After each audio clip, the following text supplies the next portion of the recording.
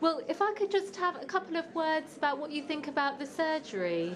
This particular surgery? Yeah. Uh, it's fine. It's just um, all the doctors are extremely good, um, but it always seems to be a pain trying to get through in the morning um, to make an appointment.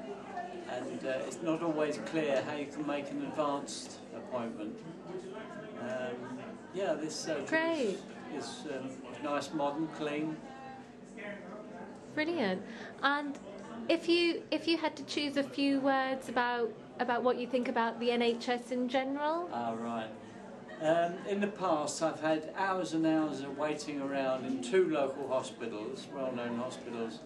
Um, four and a half hours of a late mother once uh, in um, uh, orthopaedic hospital and also vascular as well department.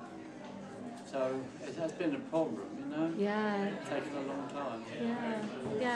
And any ways in which you think the NHS can be improved? Oh, I'm sure it can. I think most people would agree.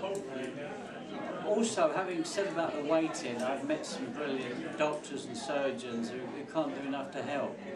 But on the other Yeah. hand, there's people, I don't know, lower down the ranks who are time wasters, quite frankly. Right. So maybe sort of get get rid of some of the managers and Yes, uh, not put- medical staff. Yeah, put some more medical staff I in. would say so.